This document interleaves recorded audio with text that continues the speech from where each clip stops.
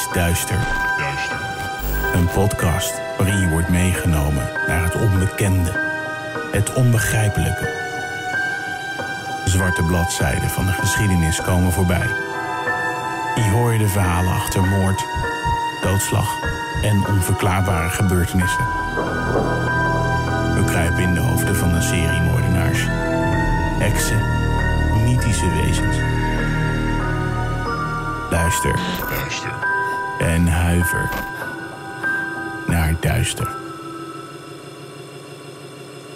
Welkom duisteraars bij aflevering 5 van Duister de podcast, de podcast over true crime en paranormale zaken. Dit is Kim. Hoi, en dat is Daphne. Hoi. en we hebben weer twee spannende zaken voor je in petto. Dus welkom iedereen, fijn dat jullie luisteren. Ehm, huishoudelijke mededeling, volg ons eh, lekker op Instagram, het Duister de podcast en op Facebook. Gewoon even zoeken op uh, Duister de podcast. Dat vinden we super leuk. want de socials zijn al lekker actief, hebben we gemerkt. Vooral Instagram. Er zijn al verschillende ervaringen binnengekomen. Die slaan we allemaal op en dan komen ze vanzelf een keer voorbij. Ja, superleuk om te lezen dat jullie ons leuk vinden. Ja, echt. Dat horen we graag. ja, dan, heel graag. Soms ook met tips en zo. Dus dat is echt heel cool. Ja. Nou, we hebben een uh, lekkere regenachtige avond uh, vanavond. Ik was hier zo aan toe. Ja, ik ook.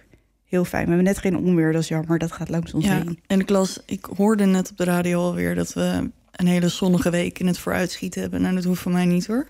Nee, voor mij ook niet. Nu alweer klaar en de zomer moet nog komen. Nee, ja. laat het maar lekker oktober worden. Dat, ja. Uh, nou ja. Houden we meer van. Ja. Een beetje treurig weer. Ja. Goed, zullen we beginnen? Ja.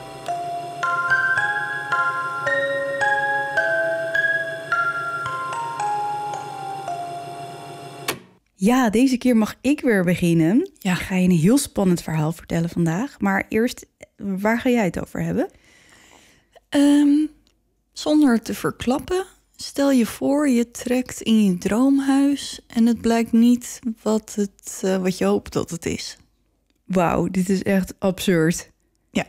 Want mijn eerste regels, zie ik hier zo meteen staan, zijn echt praktisch hetzelfde. dat ben je niet. Ja, je gaat het zo meteen horen. Nou, oké, okay, dit is heel apart. Het is sowieso een beetje een rare avond. Want we begonnen met een storing in de microfoon. En daarna gingen de lampen ineens uit en aan. Dus ja. Het is een, een, een, een avond vol... Uh... Ja, dus we hebben nu precies drie kaarsjes. We kunnen elkaar niet zien. We zitten wel op voldoende afstand. Dus dat helpt ook wel, denk ik. Maar uh, het zet wel lekker zo de sfeer ja, neer. Het gaat, het gaat de goede kant op. Ik ga je vandaag het verhaal vertellen van over Bob Cranmer, die naar eigen zeggen 18 jaar lang geterroriseerd is door de demon Moloch. Moloch? Ja. Daar heb ik dus echt nog nooit van gehoord. Nee, ik ook niet, ik ga het je helemaal uitleggen. Maar eerst, zoals altijd, wat is een demonische entiteit? Dit zegt Wikipedia. Een demon komt van het Griekse woord daimon en betekent godheid. In de huidige tijd wordt er echter vaak gevallen engel, duivel of kwade geest mee bedoeld. In de originele Griekse opvatting werd met demonie iets goedaardigs bedoeld, zoals een goddelijke macht of een beschermengel. In het christendom echter heeft de term een kwaadaardige betekenis. Volgens de Bijbel staan demonen onder leiding van de, de duivel. Dat was natuurlijk vrij simpel. Ja. Maar vandaag dus Bob Cranmer en zijn familie. Want wat ik net tegen jou zei dat ik zo absurd vond over dat droomhuis, Ja. daar begint mijn verhaal dus ook mee. Ja, dat vind ik zo raar. En ik wil gelijk even hier een moment pakken. We weten dus van tevoren niet welke zaak we gaan doen van Nee. elkaar. Helemaal niet. We Dus- hebben het er ook niet over. We Nee. hinten niks. We zeggen gewoon helemaal niks. Nee, Dus dan is het voor ons allebei een verrassing tijdens de opname. wie wat gaat vertellen. Precies. En dan kunnen we alles wat je ons hoort reageren. Dat is ons ook onze echte eerste reactie. Precies. Oké, Bob. Oké.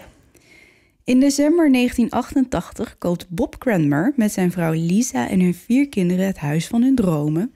Een prachtig 105 jaar oud Victoriaans huis in een rustige buurt aan Brownsville Road, Pittsburgh, Pennsylvania. Een huis dat Bob al langer op het oog heeft.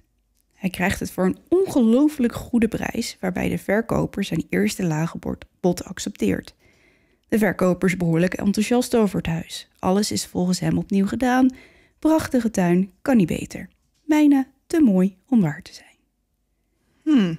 Bob en zijn gezin zijn dan ook erg opgetogen als ze eindelijk in het huis mogen trekken. Maar al snel blijkt dat het inderdaad te mooi is om waar te zijn en er lijkt iets behoorlijk niet in orde te zijn in het huis.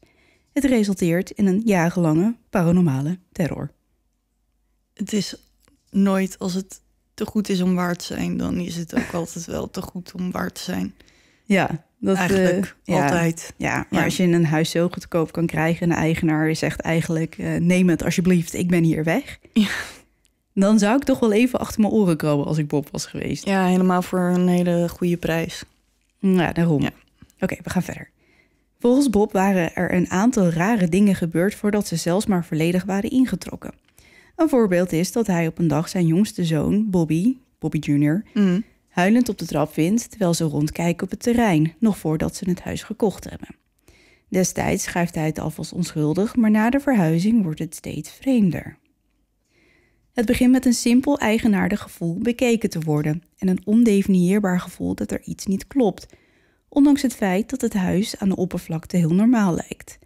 Het voelt alsof er iets in de muren zit, een soort ongrijpbare woede die zich onder het charmante veneer bevindt in de prachtige sierlijsten van de deuren en de kostbare Victoriaanse tapijten.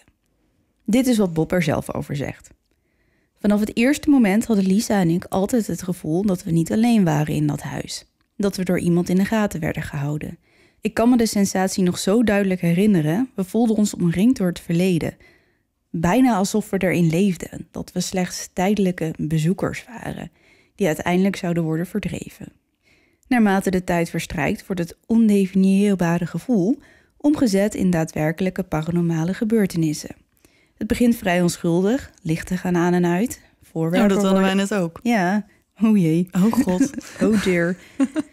Ehm, voorwerpen worden op andere plekken teruggevonden. Het touwtje van de hanglamp is ineens om de lamp gewikkeld in plaats van hangend naar beneden. En dit gebeurt echter zo onopvallend allemaal dat de familie denkt dat ze het zich verbeelden en ze maken er zelfs wat grapjes over. Net als met vorige week dat de laden van de kast in één keer open stonden. Ja, en dat ze denken dat de kinderen er wat mee te maken hebben. Ja, zo van eh hou er eens mee op, want Ja. het is nu niet meer grappig. Ja. Weet je wel, een beetje dat werk. Maar al snel wordt de activiteit agressiever. Ze horen hard gebonk uit het plafond en voetstappen rennen op de zolder. Deuren knallen open nadat er eerst hard op gebonkt is. Als ze gaan kijken is er uiteraard helemaal niemand. Maar de familie wordt pas echt bang als ze een kruis in tweeën gebroken vinden op de vloer. Oeh, dat is echt nooit een goed teken. Dat is inderdaad not so good. Nope. Nope. Bovendien lijkt er iets heel erg mis te zijn met een kamer in het huis die ze de blauwe kamer noemen. Er is altijd wel een kamer met een kleur, toch? Ja. Serieus. Dat is, dat is een ding of zo. ja, maar dat is hetzelfde als een vrouw in het wit. Ja, ja. hoeveel ladies in white er niet tegen zijn gekomen, dat is nou ja, niet op twee handen meer te tellen. Nee. Ieder, ieder spookhuis heeft een, een Ja. lady in white. Behalve eh, Lab Castle, want die heeft er eentje in Oh de ja, ja dat, dat was de rode dame. Ja, Ja. klopt. Oké, goed. Dit huis dus, de blauwe kamer. En dat omdat deze kamer blauw behang heeft en een blauw tapijt. Maar volgens de kinderen die daar slapen, bezit het ook een kwaadaardige bovennatuurlijke kracht. Vind ik voor een kind best wel Ja. heftig om dat te constateren. Maar goed, dat is het, dit is het verhaal. Wat opvalt aan deze kamer, die recht aan de trap grenst, is dat er een kleine klopper op de deur zit. Dit is belangrijk, dit moet je onthouden. Oké. Klop, klop. De kinderen weigeren om in de kamer te slapen om er, of om er zelfs maar in de buurt te komen, klagend dat er iets engs in zit en wat deze aanwezigheid ook is, het begint zichzelf langzamerhand steeds zichtbaarder te maken. En dit als een schaduwachtige entiteit omhult in wat eruit ziet als een zwarte mist en meestal gevolgd door een stank. Dit is wat Bob allemaal zegt, hè? Mhm. Aanvankelijk alleen waargenomen binnen de muren van de blauwe kamer. Dus het beperkt zich nog tot die kamer. Als een soort van elementaal. Ja, zoiets. Oké. Een van de meest angstaanjagende ontmoetingen met deze vreemde verschijning is als Bobs schoonzoon een pikzwarte schaduw ziet boven een van de kinderbedden. Omdat de schoonzoon hoorbaar schrikt, verdwijnt de schaduw in een donker hoekje van de kamer. Op een ander moment ziet Bobs kleinzoon de zwarte schaduw kruipend op zich afkomen en begint ontroostbaar te huilen en te schreeuwen: Monster, monster, het zal me opeten. Oh, vet zielig. Ja. Kun je het je voorstellen? Een zwarte schaduw vanuit de hoek van de kamer die ineens op je afkruipt. Nou, ik heb een zwarte hond, dus dat gebeurt nog wel eens. Maar ehm, Ja, maar die is niet heel eng. nee. Nou ja. Oh, nou ja, er zijn heel veel mensen die hem wel heel eng vinden. ja. Maar nee, oh, nee. Maar voor een klein kind is dat denk ja, ik echt... is toch super eng. En sowieso, die zijn toch altijd bang voor monsters in hun bed of in de kast en zo. Ja, precies. Nou goed, dit gaat dus jaren zo door en volgens Bob wordt de entiteit brutaler en gewelddadiger. Het verschijnt zelfs in andere delen van het huis en het kruipt s'nachts door de muren de slaapkamers in. Ze zien hem uit het behang komen en dan kruipt hij naar ze toe. Ik krijg er echt... Ja, ik weet dat ik het zelf heb opgeschreven, maar ik zie het helemaal voor me. Ik kan daar niet tegen. Ja, weet je waar, waar dit me heel erg aan doet denken? Nee? Ehm, oh god, weet het programma nou? De, de Paranormal Files met Amy en die Ja. Italiaanse ja, ja, ja, ja, ja. uit Brooklyn. Was het niet de Dead Files? De Dead Files, ja. Ja, En dat is het Aan het eind- echt een keer kijken. Ja, en aan het eind van de aflevering, Amy die is helderziende medium. Ja, ja, ja. Zij kan met doden praten. Zij, zij voelt en ziet dingen. Mhm. En aan het einde van de aflevering gaat ze dan met een ehm sketch artist, een, een, eh, een tekenaar, Ja, zitten. En dan beschrijft ze dus wat ze ziet. ja. En die tekenaar die tekent dat dan. En dan laten ze dat uiteindelijk zien aan degene bij wie ze in huis zijn geweest op zoek naar geesten. Mhm. En dat doet me denken aan de, tekenen, de tekeningen die zij zeg maar dan fabriceren. Ja. Ehm, nou, zo zie ik het dus voor me. Ja, ik, we hebben ooit samen een aflevering gezien waarbij er een vrouw in bed ligt en die slaapt Ja, in de kelder. met die, ehm, met die, met die, erboven, boven dat bed. Nee, zij ziet ook schaduwen op zich afkruipen. Ja, Weet je dat nog? ja, ja, Dus daar, daar moest ik heel erg aan denken. ja. Ik. Ja. Snap, af en toe denk ik echt, waarom doe ik dit? Omdat we ervan houden om... Ja, maar dat is het. Is een soort van een rare verslaving of zo. ja. Oké, nou, ze zien dat ding dus uit het behang komen en dan kruipt hij dus naar ze toe. Eh een van de kinderen wil alleen nog maar in een linnenkast slapen met het licht aan, want die verdikt het. Die denkt echt, eh toedeloe, eh, Zoek het uit. ik doe dit niet meer. En iedereen in het gezin begint op een gegeven moment fysieke aanvallen te ervaren. En vooral dan in de buurt van de Blauwe Kamer, want daar is die blijkbaar het Maar worden ze aangevallen of krijgen ze toevallen? Nee, ze worden aangevallen, dus ze, ze hebben eh, krab- en klauwsporen. Oké. Nou weet ik niet zo goed wat je met een klauwspoor... Nou, dat kan ik je vertellen. Ik, volgens, Ik, ik denk persoonlijk, dit hebben we heel vaak gezien. Ik denk dat we met klauwsporen moeten denken aan een, een hoe noem je zoiets? Een krabspoor. Ja, Van, zoals een- van drie Ja, zoals een kat krabt, zeg maar. De Holy Trinity. Trinity. Ja, precies. Zoals Zack en teken van drie. altijd En dat wordt dan vaak eh, de duivel. Ja. Wordt daar inderdaad mee geassocieerd. ja, en dus ik denk dat als we het over klauwen hebben, dat we dan Ja. aan zoiets moeten denken. Ja, precies. Ehm, familieleden die kruisjes dragen om zich tegen wat, wat, wat, wat er zich dan ook in een huis eh schuilhoudt. Ja, die proberen zichzelf te beschermen met kruisjes.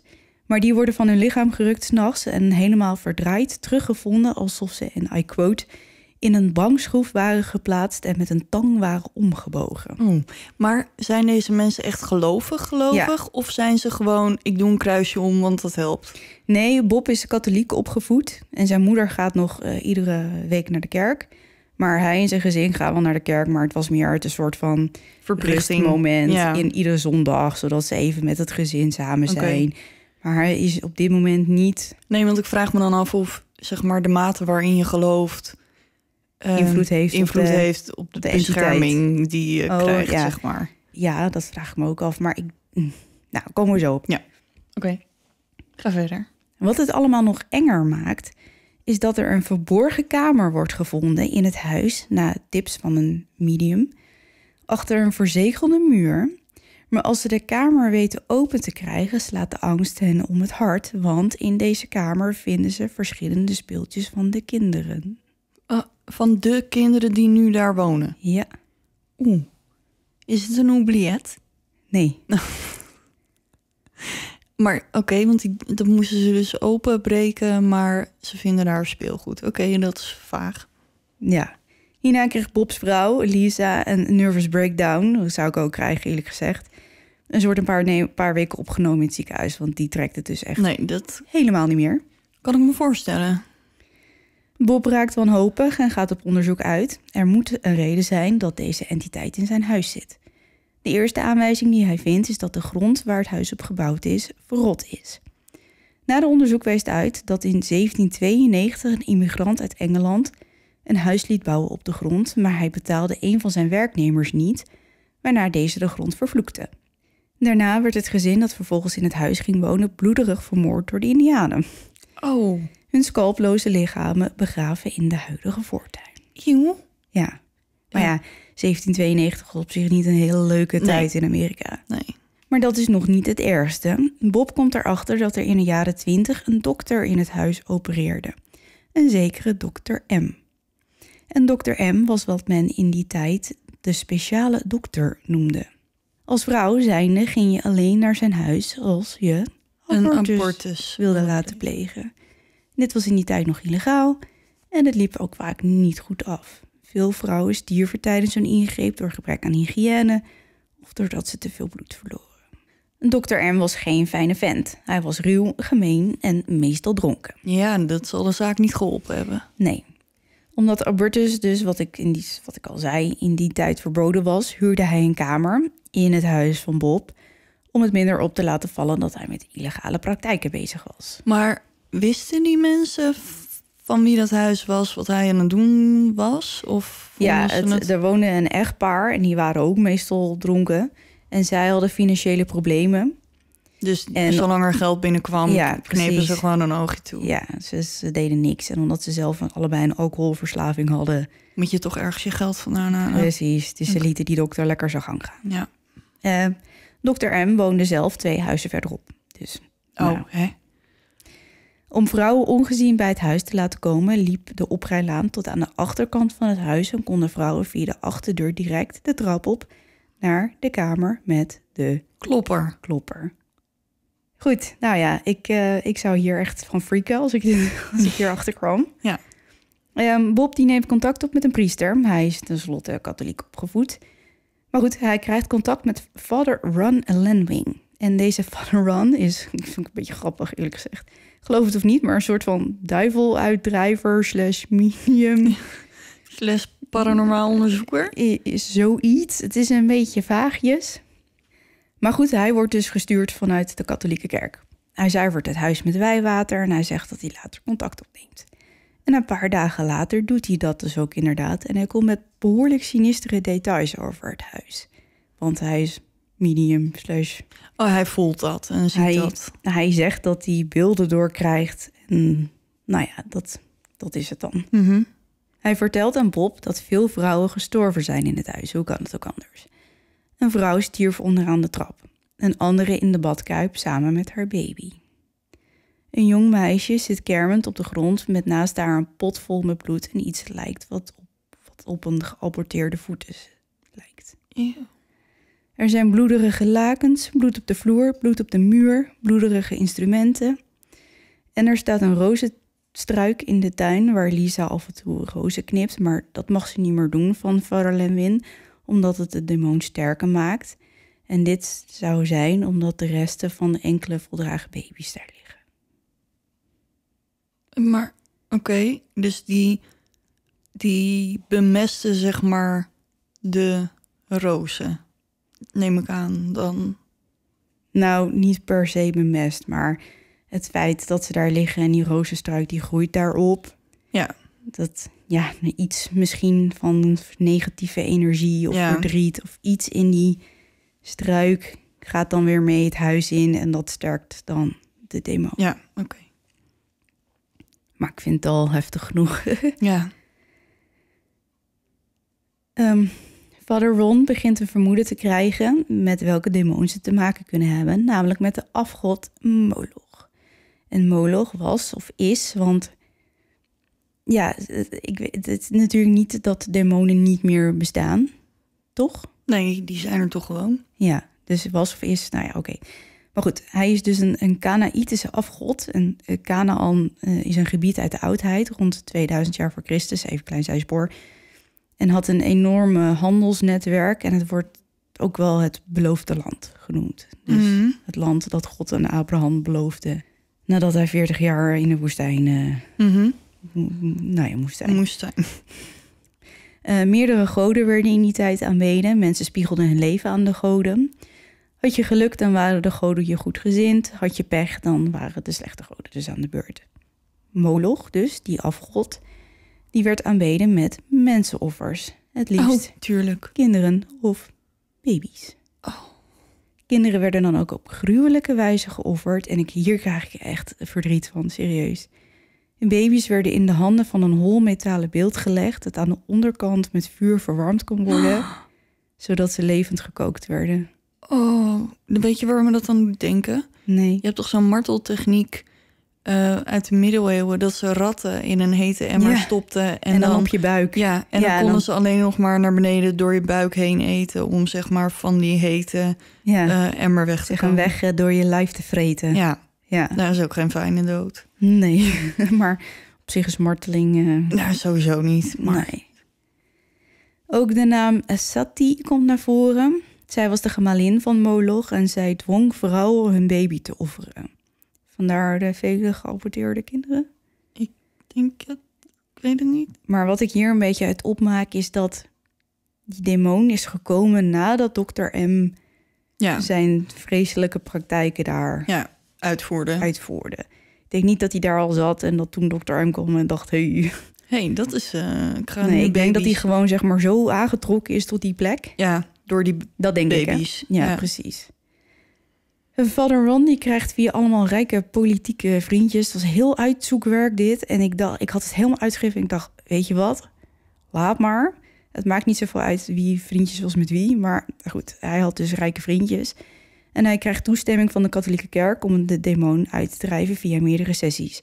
En nu is het dus super ingewikkeld. Nou, niet om een, om een, om een, om een sessie te doen... maar wel om het voor elkaar te krijgen. Ja. Want eigenlijk moet je dus aan een heel veel soort van regeltjes voldoen. Moet je dan ook niet toestemming van de paus krijgen of zo? Nee, niet van de paus, maar wel van... Ergens in het Vaticaan. Ja, en er moet ook een heel onderzoek ingesteld worden. En ehm, nou, ze doen het echt niet zomaar, zeg maar. Nee. De situatie moet dermate ernstig zijn dat ze dan... Nou ja, dat Willen ze doen, dat gaan ja. doen. Ja. Nou, ze gaan dus uitdrijven en dat doen ze via meerdere sessies. En dit heeft een verloop van een aantal maanden waarbij steeds wijwater wordt gebruikt en Bob iedere paar dagen versen uit de Bijbel moet opzeggen. En nou ja, hier loopt het dus af. Het is een weinig spectaculair einde, maar wat je in de film ziet met hysterie, knipperende lichten, gebrom, gegil, Ja, bezetenheid. Klapperende deuren. Ja, dat, dat was hier niet. Ging gewoon met de sisser, liep het af. Ja, deze man Bob heeft een boek geschreven. En hij zegt ook, it ended with the, with the, with the whimper, zeg maar. Met, Ja. een, met een, ja, met een, met een zuchtje. Want Ja, er was geen heftige... Ja, het was er allemaal niet. Maar goed, tegen het einde van 2006 is de demonische activiteit zodanig afgenomen... dat de sessies niet meer nodig zijn. Maar Bob woont daar nog steeds met zijn gezin... en hij zegt dat hij nog wekelijks het huis zuivert met verse en wijwater. ja, dat zou ik ook doen als ik hem was. Ja. Oh ja, en laatste fun fact. Omdat de kinderen het huis uit zijn, wordt een gedeelte van het huis nu een B&B. Oh. Ja, maar Bob zegt dat als je komt om de demon te zien, dan heb je pech. Want er is al langere tijd geen demonische activiteit meer waargenomen. Dus hij is of zo wel verzwakt dat hij niet meer echt kan spoken. Ja, Of het huis is zo vaak gereinigd met versen uit de Bijbel en ja dat water ergens anders eh, dat hij is gaan gewoon spoken. gegaan. Ja, ze zeggen nog wel af en toe knipperende lampen te hebben. En soms beweegt het draadje van de, van de hanglamp nog. Maar het is niet meer Heel erg. dat. Maar is hij dan niet bang dat er dan spookjagers komen... die hem dan uit gaan zitten dagen... en dat het dan weer van vooraf aan begint? Nou, er is een Ghost Hunters groep geweest. Hmm. Ehm, een Paranormal State heet ze. Ze hebben schijnbaar een aflevering gemaakt onder een soort van pseudoniem. Want Bob wilde niet dat zijn familie en zijn huis bekend werd. Ja, Ik heb mijn best gedaan om te vinden, maar dat is mij niet gelukt. Maar ik heb ook niet, eerlijk gezegd, niet heel veel toegang tot download dingen en weet ik veel wat allemaal. Bij mij gaat het allemaal via YouTube. En, nou. ja. Maar misschien ehm, dat ik het spook kan vragen of hij een poging wil wagen. Want ik wil het eigenlijk best wel graag zien. Maar dat is gemaakt onder de naam ehm Hellmouth. En dat zou dan over dat huis gaan. En er is ook een... Bob heeft... Ik, alle informatie heb ik uit, een, uit zijn eigen boek van Bob. En dat Mhm. heet The Demon House of Brownsville Road. Dus als het je interessant lijkt, dan kun je sowieso dat boek lezen. Wat was je vraag ook weer? Over of ze niet bang zijn dat als het een B&B wordt... dat er dan Oh, ja. spookjagers komen die hem uit gaan zitten dagen. En dat het dan weer Eh, terugkomt. En toen begon jij over die investigators. Oh ja, ja, ja. Nee, ja, oh ja, dat slaat eigenlijk nergens op, hè? Nee, blijkbaar hebben ze daar wat gedaan. ja, ze hebben zo. inderdaad wel geprobeerd contact te leggen, maar dat lukte niet zo. Niet als in dat hij antwoord gaf met hi, dit ben ik. Ja, Maar er is wel onderzoek gedaan. Alleen zij kwamen niet echt veel verder. Op een gegeven moment is dat team ook weer weggegaan, want ze konden gewoon niet zoveel meer doen. Nee. Het was gewoon echt goed tegen kwaad. En dit, is niet, dit was niet zo'n geval van... eh, hallo, ik ben een demon en ik kom jou irriteren. Het was gewoon, ja, wat ik zeg, goed tegen kwaad. Het, ja. het kon alleen verdreven worden met versen uit de Bijbel en wijwater. En sterk geloof. de- ja, en op een gegeven moment, en Bob die zegt ook dat hij in de Blauwe Kamer echt maandenlang non-stop ehm The Passion heeft afgespeeld op een videorecorder. Dat die film, weet je ja, wel? ja, ja, ja. Ja, dat gaat over het leven van Jezus Christus. En eh, blijkbaar werd die demon daar echt super, super kwaad van. Want die dacht echt, wat is dit? Ik, Ja, ga weg. ga weg Nou, nou, moet, Jezus. nou moet ik zeggen, maakt niet uit wat voor film het is. Maar als je dat op repeat voor me afspeelt, word ik vanzelf ook wel geïrriteerd. ja. Dus op zich. Ja. hè. Maar hij, het, blijkbaar was het enige wat hielp was God en de Bijbel. Ja. ja. Nou ja, goed. Ik ben blij dat het geholpen heeft. Ja, het, dat zeg ik. Het is niet zo'n spectaculair einde, maar het verhaal dat daar een dokter was die vrouwen aborteerde, of eigenlijk baby's aborteerde, en dat die dan. eh naar man. Ja, en er zal weinig eh, positieve energie eh, aan overgebleven zijn aan die denk ik praktijken. ook niet. Dat was het. Ja. Wat vond je ervan? Ja, ik had, ik had hier dus echt nog nooit van gehoord. Nee, ik ook niet. Dus dank je wel voor het delen van dit verhaal. ja, man. Ja, ben je klaar voor die eh, van mij? Ja. Oké.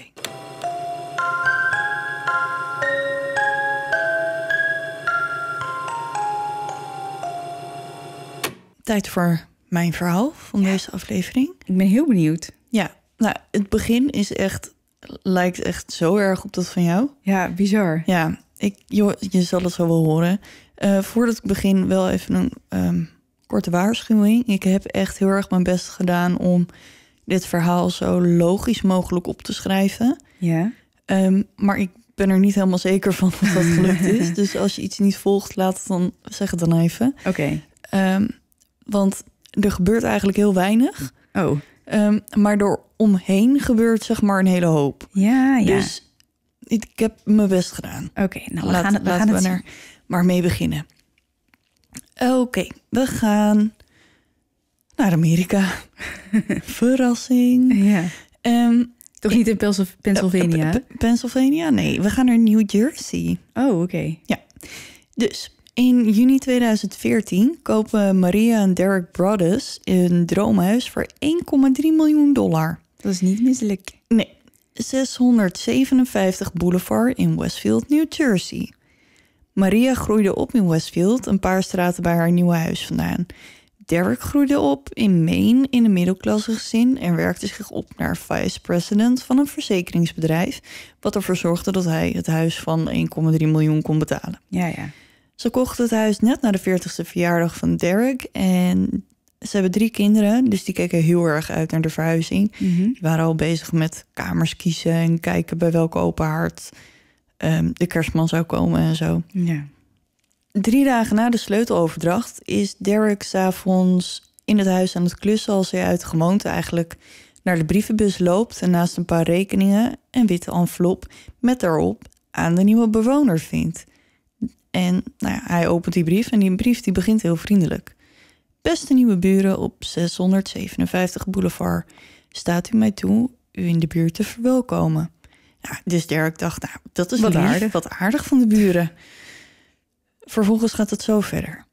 Hoe ben je hier terechtgekomen? Heeft 657 Boulevard je geroepen met zijn kracht van binnenuit. 657 Boulevard is al tientallen jaren het onderwerp van mijn familie en naarmate het zijn 100, 110ste verjaardag nadert, ben ik belast met het kijken en wachten op de wederkomst. Van wie? Dat zegt hij niet. Of misschien wel. Mijn grootvader hield het huis in de gaten in de jaren 20 en mijn vader deed dat in de jaren 60. Het, en nu is, doet hij het. het is nu mijn tijd. Kent u de geschiedenis van het huis? Weet u wat er in de muren van 657 Boulevard ligt? Waarom ben je hier? Ik zal erachter komen. Oké. Ja. Blijkbaar was de schrijver op verkenning, want ze refereren verder naar de Honda waar de familie in rijdt en de aannemers die bezig waren in het huis. De brief gaat verder met: Ik zie al dat je 657 Boulevard heel irritant trouwens, want hij blijft de hele tijd maar 657 Boulevard zeggen. Oké. Ehm, ik zie al dat je 657 Boulevard hebt overspoeld met aannemers, zodat je het huis kan vernietigen. Tch, tch, tch. Slechte zet. Je wilt 657 Boulevard niet ongelukkig maken. Eerder die week waren Derek en Maria bij een nieuw huis met hun kinderen van 5, 8 en 10 jaar oud. Ik kletste een beetje met de buren terwijl de kinderen met de buurkinderen speelden. Ook dit was de schrijver opgevallen. Ja. Je hebt kinderen. Ik heb ze gezien. Tot nu toe denk ik dat er drie zijn die ik heb geteld. Zijn er meer onderweg? Moet je het huis vullen met het jonge bloed waar, waar ik om heb gevraagd? Beter voor mij. Was je oude huis te klein voor je groeiende gezin? Of was het hebzucht om, met je, om me je kinderen te brengen? Zodra ik hun namen ken, zal ik ze roepen en naar me toe trekken. Wie ben ik? schreef de schrijver.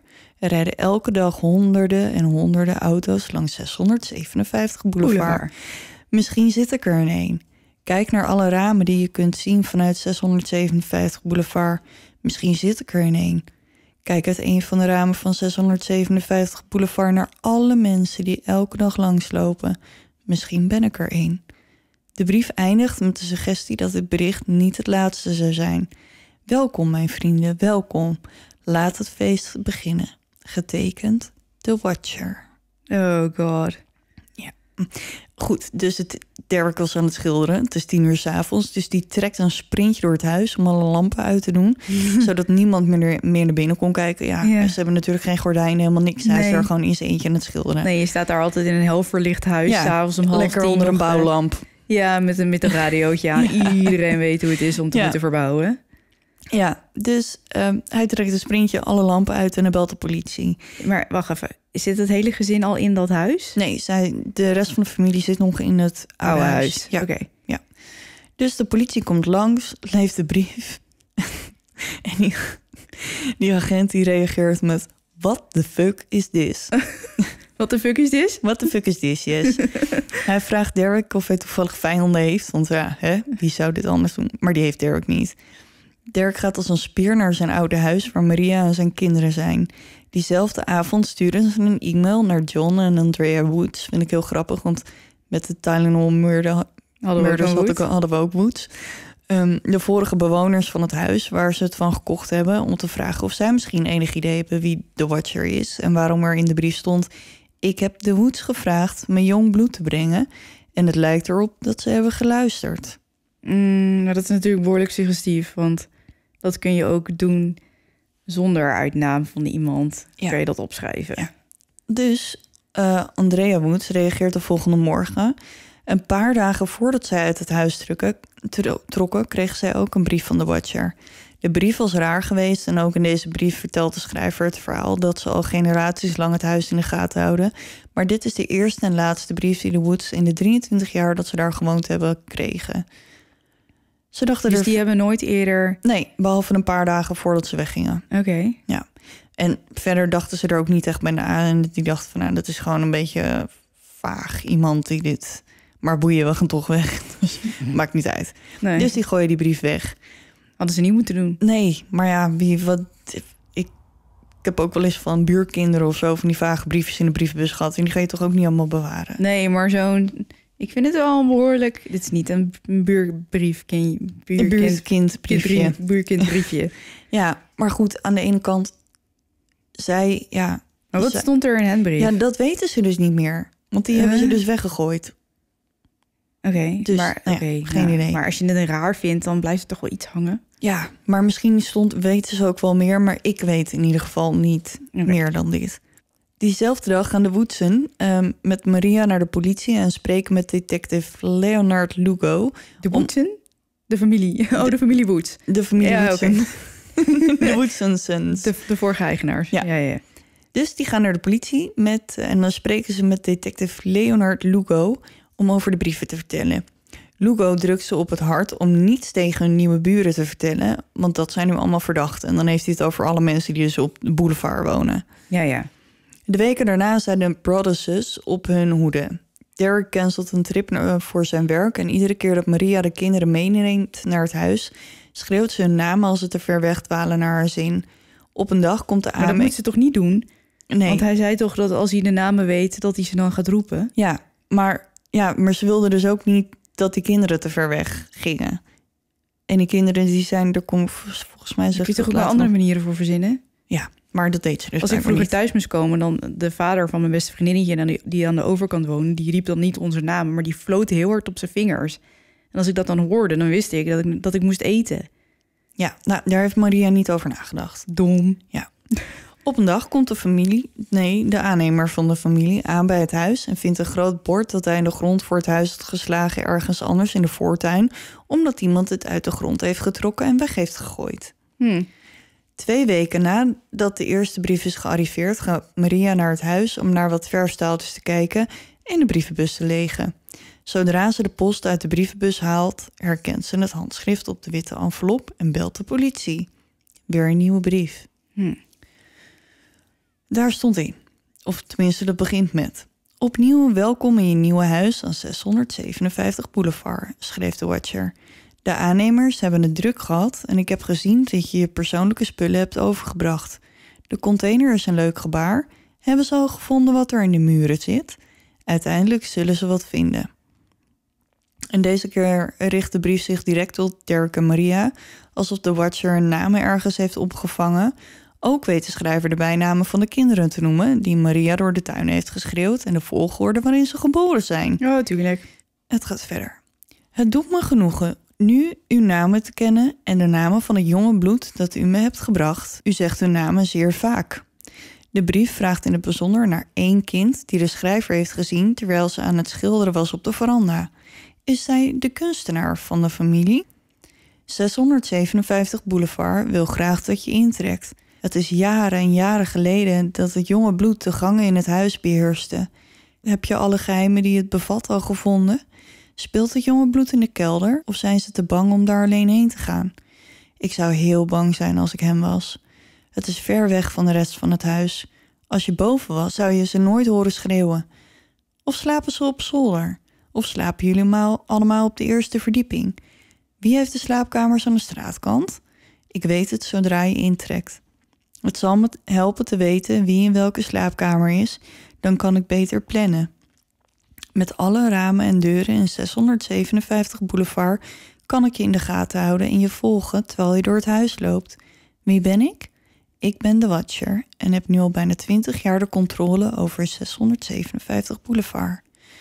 De familie Woods heeft het aan u overgedragen. Het was hun tijd om verder te gaan en het, vriendelijk, en het vriendelijk verkochten toen ik erom vroeg. Ik kom vele malen per dag langs. 657 Boulevard is mijn werk, mijn leven, mijn obsessie. En nu zijn jullie dat ook. Brothers Family. Welkom bij het product van uw hebzucht. Hebzucht bracht de afgelopen drie families naar 657 Boulevard en nu brengt het u naar mij. Heb een fijne verhuisdag. Je weet dat ik zal kijken.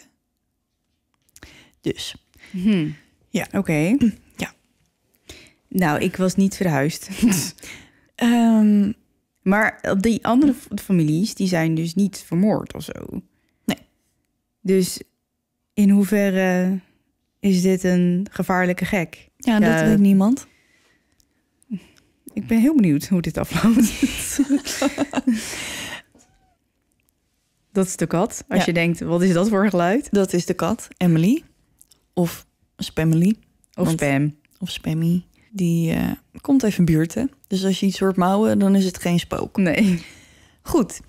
Na deze brief stopte Derek en Maria met het meebrengen van hun kinderen. Op een moment wisten ze niet wanneer of dat ze überhaupt in een nieuwe droomhuis zouden trekken. Ja, Nee, precies Dat dat. zou ik ook niet weten. Nee. We maken even een uitstapje om Westfield te beschrijven en te begrijpen hoe het er daaraan toe gaat.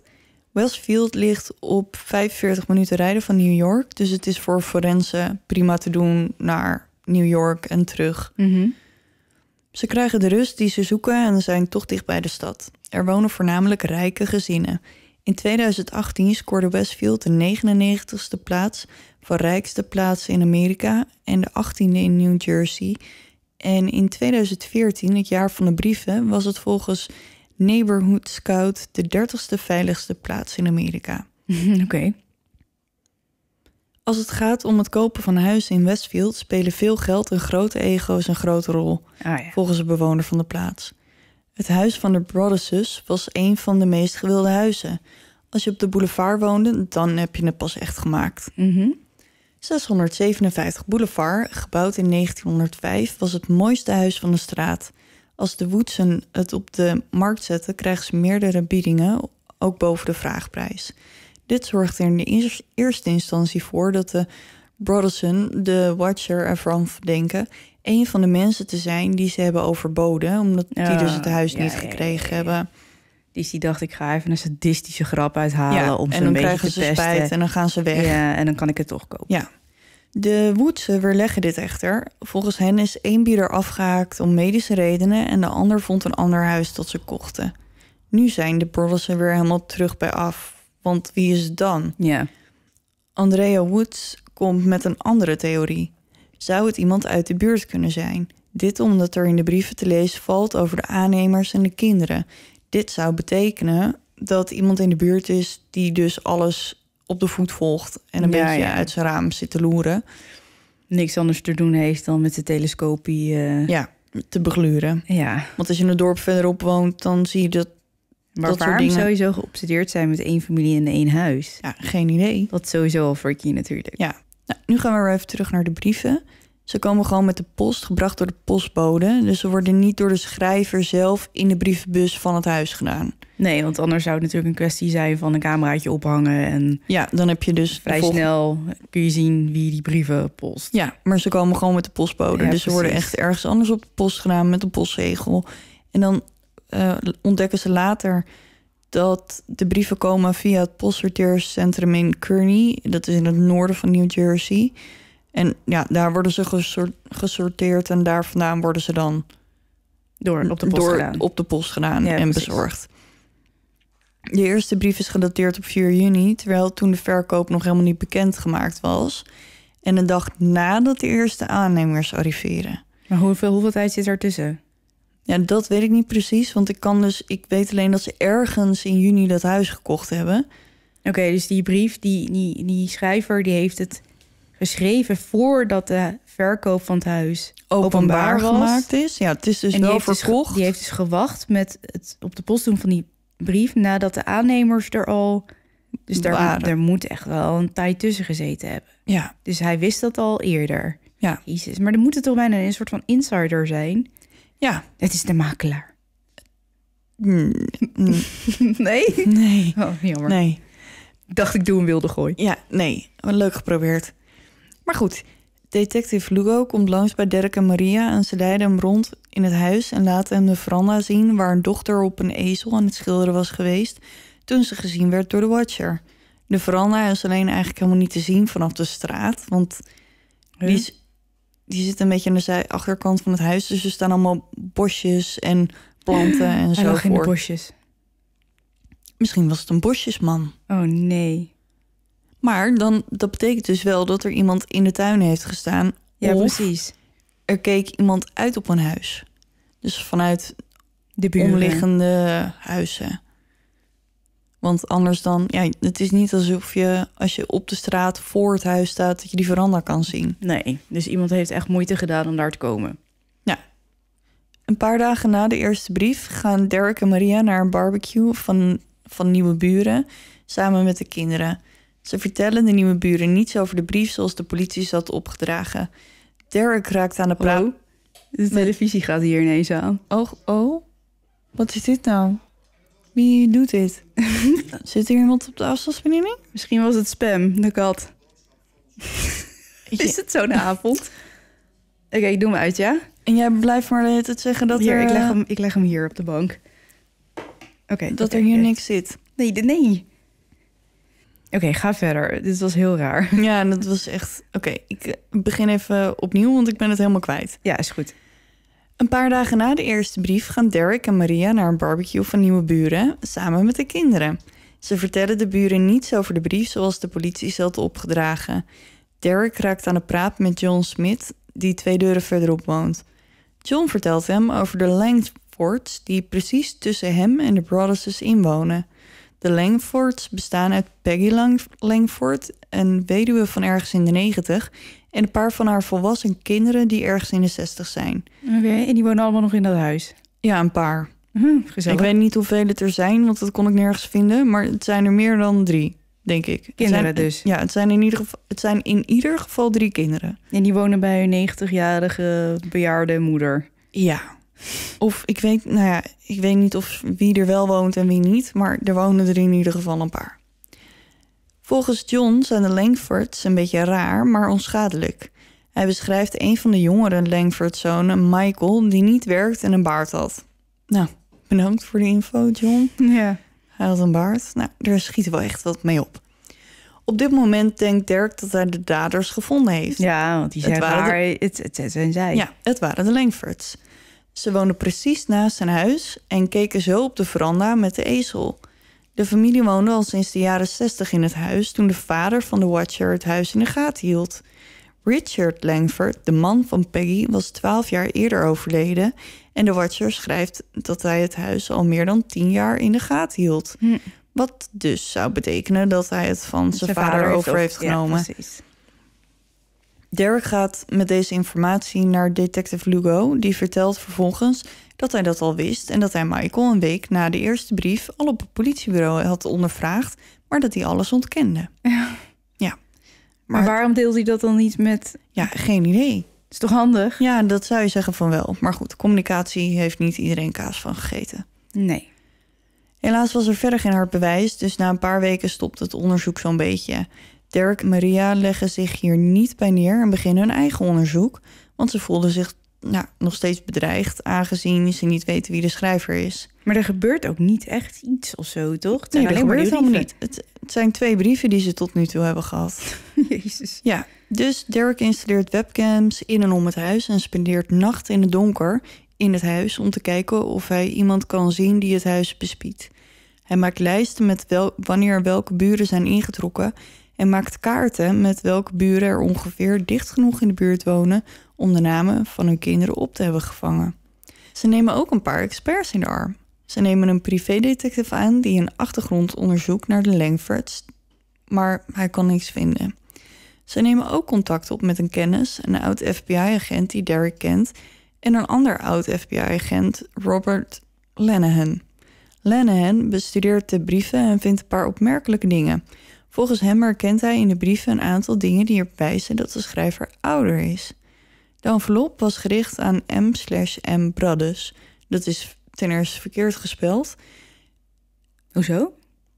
Het is Brothers van Broadway, zeg maar. Ja. En hier staat Brothers. B-R-A-D-D. Oh, oké. Ja, ja, ja. Ja, dus die eh, een beetje fonetisch opgeschreven ja, de waarschijnlijk. weet wel veel, maar niet alles, zeg Ja. maar. Ja. Dus de naam is verkeerd gespeld. En wat die M slash M moet betekenen, weet ik ook niet. Maar dat is blijkbaar iets ouderwets als je een brief schrijft. Oké. Ja. Echt nog nooit van gehoord. Nee, ik ook niet. Maar ik, nee, ja, geen idee. Maar dat is blijkbaar ouderwets. Oké. Ehm, de begroetingen omvatten het weer van de dag, warm en vochtig, zonnig en koel voor een zomerdag. En die zinnen hebben dubbele spaties. De brieven hebben een zekere literaire sfeer, wat wijst op iemand die veel leest, en een verrassend gebrek aan gevloek en gescheld, gezien het niveau van de woede, waarvan Lenne hen dacht dat het erop wijst dat de schrijver niet echt macho is. Hij denkt niet dat de schrijver echt een gevaar is, ondanks dat er ziedende woede in de brieven doorklinkt. Inmiddels is het een paar weken later en de derde brief arriveert. Nee joh. Heel veel mensen denken dat dit de laatste is, want er eigenlijk hebben in heel veel artikelen die je vindt, hebben ze dat maar over drie brieven. Maar dit is niet de laatste, spoiler. In de derde brief vraagt de Watcher zich af waar de familie gebleven is. 657 Boulevard mist jullie. Over de renovaties die de familie aan het huis heeft gedaan, heeft de schrijver ook wat te zeggen. Dat gaat als volgt. Het huis huilt van alle pijn die het doormaakt. Je hebt het veranderd en zo mooi gemaakt. Je stilt zijn geschiedenis. Het huilt om zijn verleden en wat vroeger was. In de tijd dat ik door de gangen rende en met leven van de rijke bewoners daar verbeelde. Het huis was vol leven en jong bloed. Toen werd het oud en mijn vader ook. Maar hij bleef kijken tot de dag dat hij stierf. En nu kijk ik en wacht op de dag dat het jonge bloed weer van mij zal zijn. 657 Boulevard keert zich tegen me. Het komt achter me aan. Ik begrijp niet waarom. Welke spreuk heb je erop uitgesproken? Vroeger was het mijn vriend en nu is het mijn vijand. Ik heb de leiding over 657 Boulevard. Het is niet de baas over mij. Ik zal de slechte dingen afweren en wachten tot het weer goed wordt. Het zal me niet straffen. Ik zal weer opstaan. Ik zal geduld hebben en wachten tot dit voorbij is en tot het je jonge bloed bij mij terugbrengt. 657 Boulevard heeft jong bloed nodig. Het heeft je nodig. Kom terug. Laat het jonge bloed opnieuw spelen, zoals ik ooit deed. Laat het jonge bloed slapen in 657 Boulevard. Stop ermee om het te veranderen en laat het met rust. Hm. Oké. Ja, prettig hè? Het was niet de makelaar, het was de aannemer. Ja, ik denk het ook. Misschien was het de schilder. Maar eh, dit suggereert alsof hij daar heeft gewoond, deze watcher. Ja, dus dat adviseert Lenne hen ook. Die ehm, adviseert om onderzoek te laten doen naar al het personeel dat ooit in het huis heeft gewerkt. Dus toch. Omdat het erop lijkt dat de schrijver kennis van het huis heeft. Maar Ja. de focus blijkt, blijft op dit moment op de Langfords. Want voordat je al die mensen hebt achterhaald, dat duurt natuurlijk eventjes. precies. In samenwerking met de politie schrijft de familie de Langfords een brief waarin ze vertellen dat ze het huis gaan slopen. Oh? In de hoop een reactie uit te lokken, maar helaas, er gebeurt helemaal niks. Mm. Ja, want ze hopen natuurlijk dat als een van de Langfords de watcher is, willen ze niet dat het huis wordt afgebroken, dus gaan Nee, ze reageren. dat klinkt als de allerergste nachtmerrie als 600... Hoeveel is het ook weer? Sorry. 657 Boulevard. Boulevard. Ja, als dat gesloopt wordt, dan is het, dan is het dan einde is het zoek. einde, ja. Ja. De politie ondervraagt Michael Langford nog een keer... wat ervoor zorgt dat Abby, de zus van Michael... de politie van intimidatie beschuldigt. Huh? Ja, omdat hij twee keer is ondervraagd.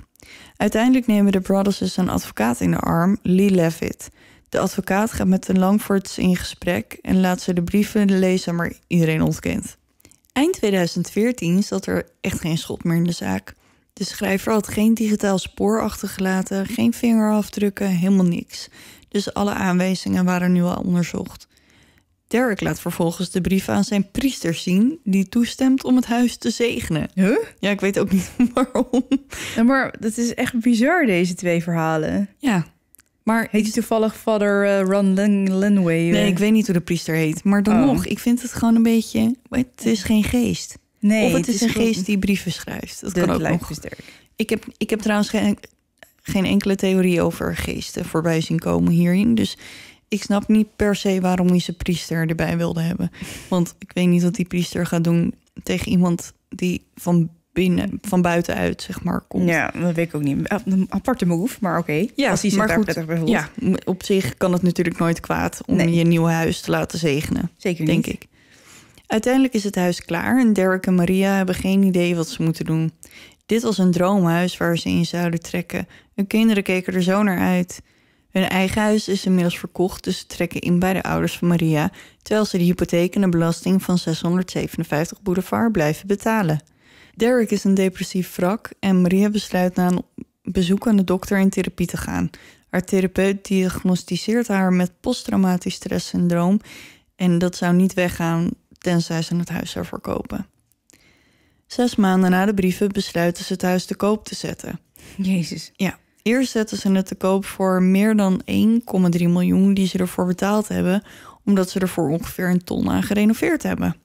Dus ja, ik kan me voorstellen dat Ze je dan de ook, winst daar. ja, Of in, Of ieder in geval, de, de verbouwings, verbouwingskosten. verbouwingskosten. Er komen verschillende biedingen en omdat ze niet willen dat andere mensen hetzelfde moeten meemaken, geven ze de bieders een korte uitleg van wat er aan de hand is. Mocht er een serieus bod komen, dan laten ze de brief lezen. Dat is wel eerlijk. Ja, want Waarom zou je dat nou doen? Nou ja, anders dan die vriend van jou net in je vorige verhaal, die Oh ja. niet eh, wist hoe goed hij zijn huis aan moest prijzen om er zo snel mogelijk vanaf te zijn, willen Derek en Maria dit dus niet op hun geweten hebben. Oké, nou ja, dat is wel netjes. Ja, en ja, dat zeg ik, die, die kerel in jouw verhaal, die zei, oh nee, prima, Niks aan de hand. niks aan de hand, hier, koop het. Voor gedaan. belachelijk. Ja, dus nee, Derek en Maria wilden niet dat op, het, op hun geweten hebben dat er misschien een nieuw gezin zou komen wonen Die hetzelfde die hetzelfde mee moesten maken. Ondertussen starten ze een rechtszaak tegen de Woodsen... omdat Derek en Maria vinden dat ze bij de verkoop van hun huis... op de hoogte hadden moeten brengen van de brief die zij ontvangen hadden. Ja, maar, eh, ja, maar dat is toch een beetje Ja. Ja, Ja. ja. maar goed, hè, Derek en Maria die zitten er ook een beetje, een, een beetje doorheen. Ik ga verder ook niet eh, op de rechtszaak in, want het duurt al zo lang. Maar door de rechtszaak kwam het hele verhaal naar buiten. Want dan worden natuurlijk die stukken die worden, ja, die worden publiek- openbaar ja, gemaakt. Die worden openbaar eh, gemaakt. En werd 657 Boulevard overspoeld door journalisten.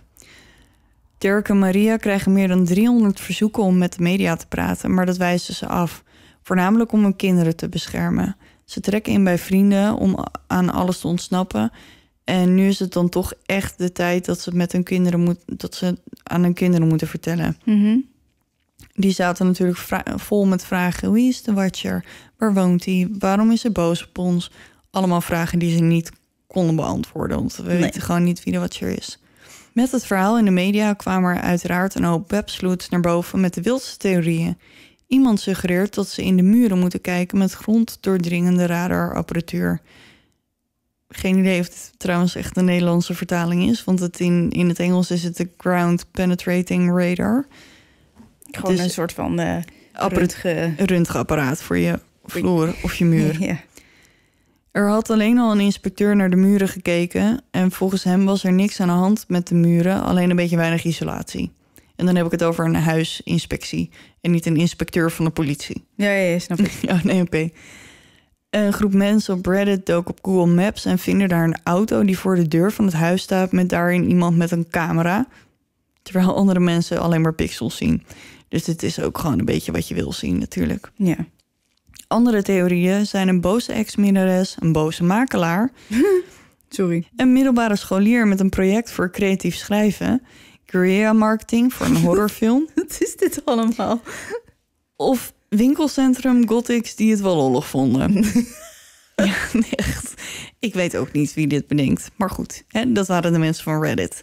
Winkelcentrum Gothics. Ja, Oké. ja die heb je blijkbaar. Ik, ja, dit is natuurlijk vertaald vanuit het Amerikaans. Ja, ja. Dus het kan, ja, ik kan er, het, volgens mij stond het daar vertaald als mall gods of zo. Verder zijn er erg veel mensen die de Brothers een stelletje watjes vinden, omdat ze er niet gewoon intrekken. Want het zijn natuurlijk maar brieven. Ja, en het is nu toch oud en niet open. Dus als er ook maar iets gebeurt met de Ja. familie... Ja. Maar goed, omdat de zaak nu ineens zo in de spotlight staat, besluit oude rot in het politievak Baron Cham Chamblis. Ik, ik lees de hele tijd Chablis als in de wijn. Maar het is Chamblis, denk ik. En die besluit de zaak nog eens onder de loep te nemen. Hij is ervan overtuigd dat de Brothers hier het slachtoffer zijn. Ook hij doet onderzoek naar Michael Langford. De broer van Michael, Sandy, dus dan hebben we nu drie Langford-kinderen, vertelt hem dat Michael toen hij jong was is gediagnosticeerd met schizofrenie.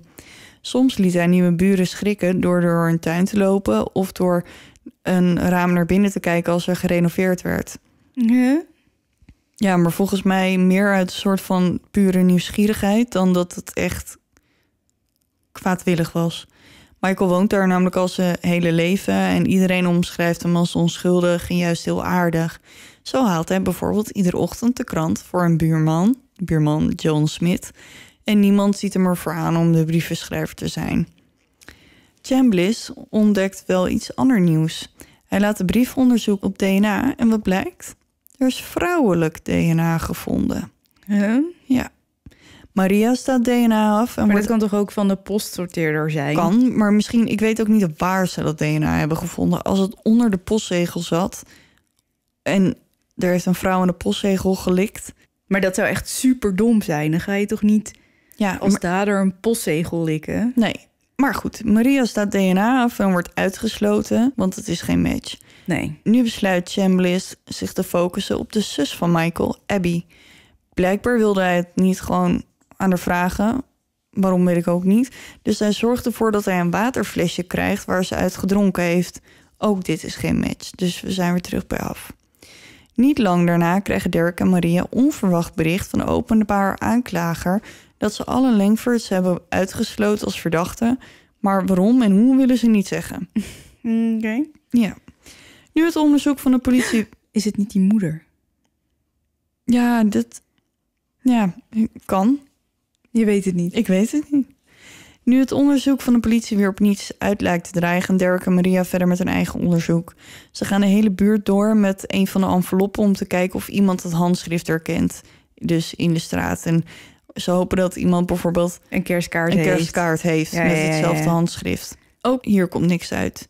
Dirk haalt een vriend over om in de wifi-netwerken te hacken van de buren om te zoeken naar bewijs dat er iemand eh, er iets mee te maken heeft. Maar nou ja, goed, dat blijkt niet zo makkelijk te zijn als dat het in CSI en andere Nee. tv-programma's is. Plus dat het ook behoorlijk illegaal is. Dus Ja, dat, ja, ja. daar zien ze uiteindelijk maar vanaf. Maar die mensen waren op een gegeven moment zo wanhopig. Want ze konden het natuurlijk ook niet verkopen. Dus ja, op een gegeven moment Wil je toch... eh, ja, doe je er alles aan. Maar Chambliss geeft niet op. Samen met een partner houdt hij het huis in de gaten. En op een avond stopt er een auto voor het huis die daar even blijft staan. Lang genoeg dat Chambliss het verdacht vindt. Het was niet gewoon iemand die eventjes, weet ik veel, op zijn geen radio... journalist die dacht... hé, hey, dit is dat ene huis. Nee, of aan iemand die aan zijn radio zit te pielen of weet ik veel. Ja, zijn sigaretje laat Ja, vallen. hij spreekt de vrouw in de auto aan die uit een dorp verderop schijnt te komen. Zij vertelt Chambliss dat haar vriend in de buurt van het huis woont en dat hij hele grimmige computerspellen speelt. Ja. En als hij speelt, speelt hij met een karakter dat The Watcher heet. Nee, joh. Ja. En dat vertelt ze gewoon. Ja. De vriend is op dat moment niet in de buurt en Chambliss probeert hem twee keer naar het politiebureau te laten komen voor ondervraging, maar hij komt niet opdagen. Nee, dat wel niet. Chambliss heeft verder niet genoeg bewijs om hem te dwingen, dus hij laat het er maar bij zitten. Ja, handig. Ja, maar online zijn er mensen die zich afvragen of de beste man niet The Witcher speelde in plaats van Oh, The Watcher. Ja. En nou heb ik daar geen verstand van. Ik wel, ik heb dat spel. Ondertussen zijn alle buren bij elkaar gekomen om uit te vogelen wie de schrijver is. En nadat ze de brieven onder de loep hebben genomen, kunnen ze maar tot één conclusie komen. Zouden de Brothers de brieven naar zichzelf geschreven Ja. hebben? Waarom dan? Nou, dat ga ik je vertellen. De theorie is dat ze na de aankoop van het huis tot de conclusie komen dat ze het toch allemaal niet kunnen betalen en een uitgebreid plan bedenken om onder de koop vandaan te komen of om de verzekering op te lichten. Ze vinden het ook vreemd dat Derek en Maria in de loop der jaren van een huis van 300.000 dollar naar een huis van 770 dollar verhuizen om vervolgens 657 Broadway te kopen voor die 1,3 miljoen dollar. En het dan ook nog eens een keer te verbouwen. Dus hoe kan het zijn dat ze zulke grote stappen maken op de huismarkt? Hebben ze te veel hooi op hun vork genomen en willen ze er nu onderuit? Proberen ze een rechtszaak tegen de Woodses aan te spannen en hun geld terug te krijgen? En ik heb het hier niet opgeschreven, maar het schiet me in één keer te binnen. Maar Derek reageert hierop met: Dit is Amerika, dus hier kan dat.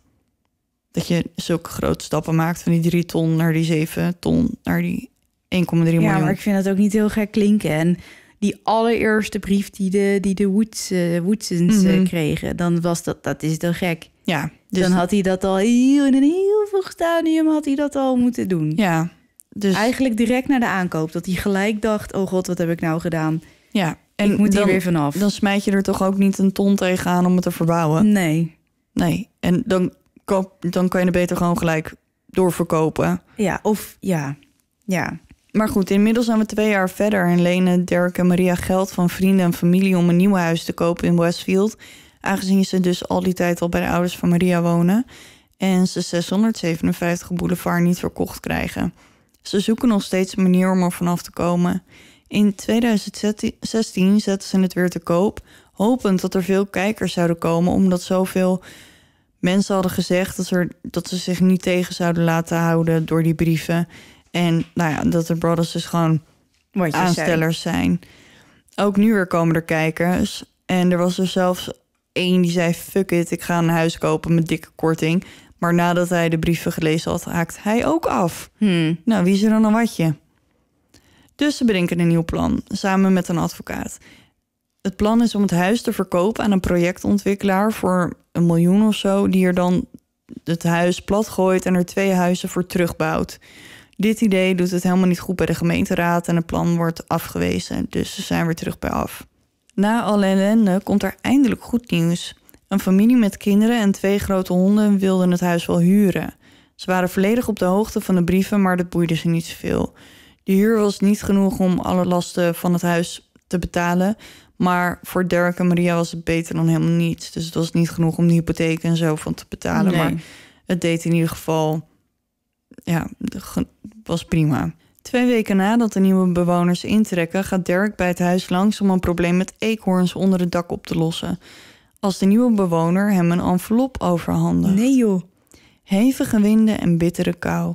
Aan de gemene en hatelijke Derek en zijn trut van een vrouw, Maria. Wat? Ja, dus Derek maakt de brief open en die leest het volgende. Vraag je je af wie de Watcher is? Draai om, idioten. Misschien heb je zelfs met mij gesproken. Een van de zogenaamde buren die geen idee heeft wie de Watcher zou kunnen zijn. Of misschien weet je het wel en ben je te bang om het iemand te vertellen. Goede zet. Dan lijkt het erop dat de schrijver ze op de voet heeft gevolgd, want hij zegt de volgende dingen. Ik liep langs auto's vol pers toen ze de buurt overnamen en me bespotten. En ik keek toe terwijl je vanuit het donkere huis keek in een poging me te vinden. Telescopen en verrekijkers zijn prachtige uitvindingen. Dus toch. Ja. Ook heeft hij het over het voorstel van het stel om het huis te verkopen aan projectontwikkelaars. 657 Boulevard overleefde uw poging tot aanval en stond sterk met zijn leger van aanhangers die de poorten versperden. Mijn soldaten volgden be- mijn bevelen tot aan de letter. Ze voerden een missie uit en redden de ziel van 657 Boulevard. Ook de huurder werd in de brief genoemd. Hij was geschrokken, maar wilde wel in het huis blijven als de Brothers dus camera's rond het huis installeerden. Ik snap dus, ja, maar ze hadden het over webcams. Dus misschien was dat een soort van tijdelijk ding wat Derek had gedaan. En dan willen deze mensen nu camera's Ja, voor een vals gevoel van veiligheid. ja maar ik snap ook niet waarom, waarom dat er überhaupt nog niet was. Maar goed, de brief, Nee. de brief is nog niet afgelopen. Wraak kan in vele vormen komen. Misschien een, uit, een auto-ongeluk. Misschien een brand. Misschien zoiets eenvoudig als een milde ziekte die nooit lijkt te verdwijnen, maar die je dag na dag na dag ziek maakt. Misschien de mysterieuze dood van een huisdier. Geliefden sterven plotseling. Vliegtuigen en auto's en fietsen crashen. Botten breken. Gezellig. Ja. En dit is de laatste keer dat iemand iets van de Watcher verneemt. In juni 2019 verkopen ze eindelijk het huis, maar wel met een groot verlies. Ze verkopen het voor ongeveer 959.000 dollar. Maar nou ja, ze zijn er nu in ieder geval vanaf en ze kunnen verder Ja. met hun leven. In 2016 kwam er Netflix een film uit, gebaseerd op, op het verhaal. En ik heb geprobeerd om hem te zoeken, maar ze hebben hem er alweer vanaf gehaald. Oh, bammer. Ja, want ik had hem best wel graag willen zien. Maar als het goed is, heeft Netflix de rechten bemachtigd voor Netflix Original. Oh. En ik weet niet of dat een film of een serie gaat, ehm, gaat zijn en wanneer het komt. Maar blijkbaar komt het ooit. En dat is dan gebaseerd op deze. Maar niemand weet wie het was. Nee, En er is nooit meer een brief gekomen naar de nieuwe eigenaren. nee. Echt raar. Ja, het is echt heel raar.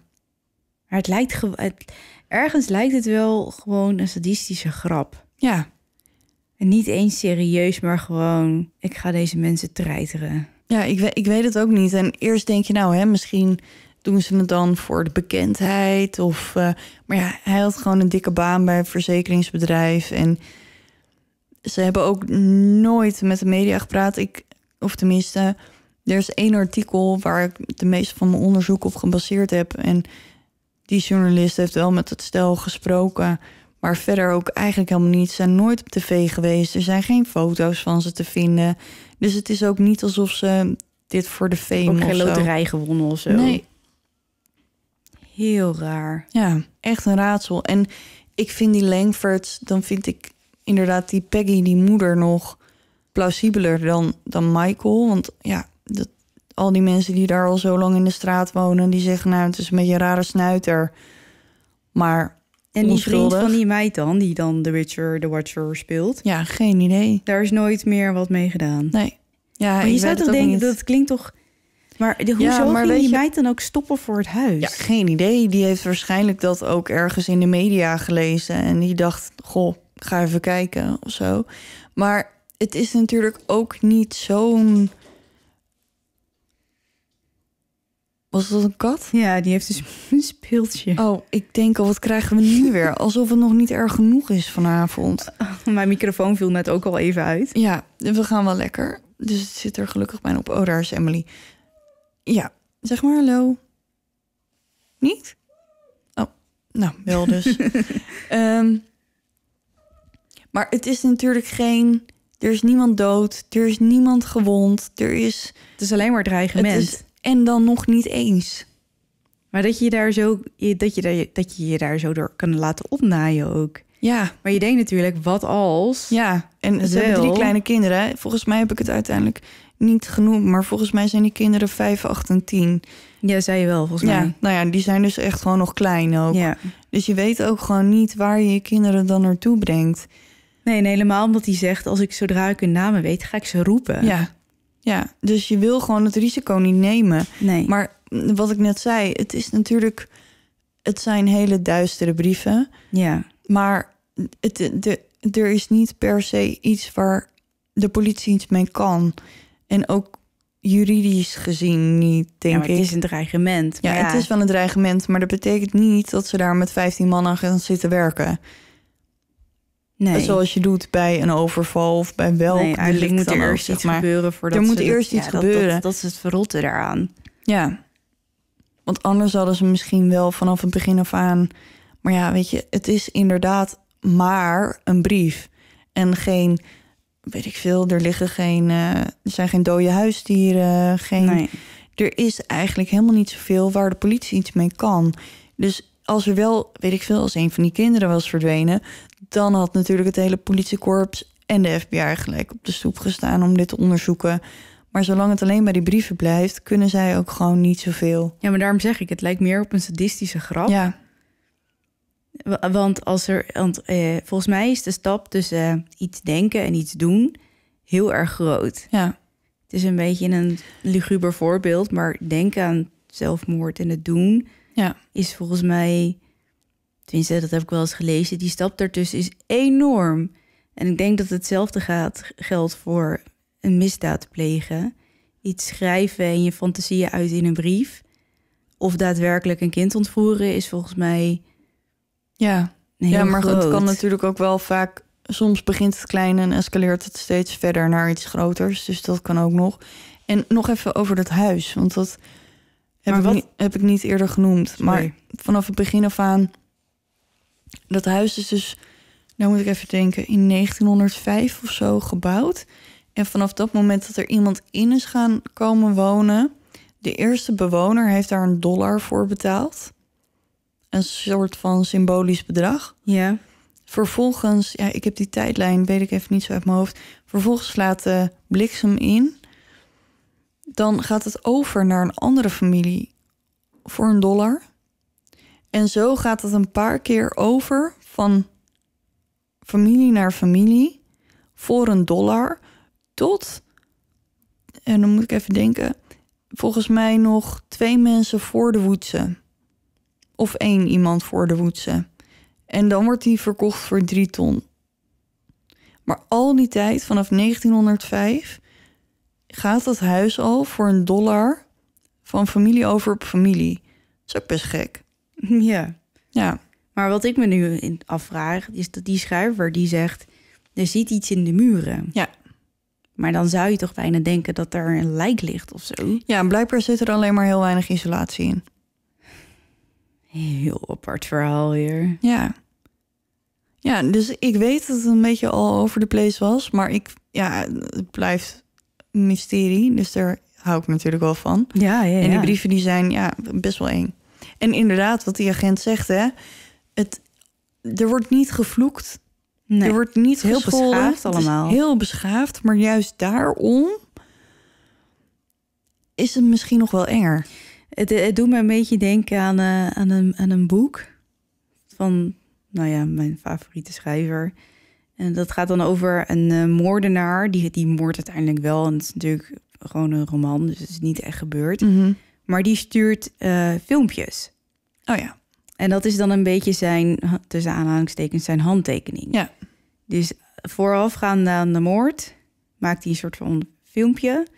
En dat is dan ja, een soort van voorbode of Ja. zo. Het is niet helemaal hetzelfde, maar de, de, de, de sfeer die er omheen hangt, doet me daar een beetje aan denken. Ja, Het boek heet Mr. Mercedes, als je het leuk lijkt. van Stephen King. Yes. Dus dit was het voor deze aflevering. Ja, joh.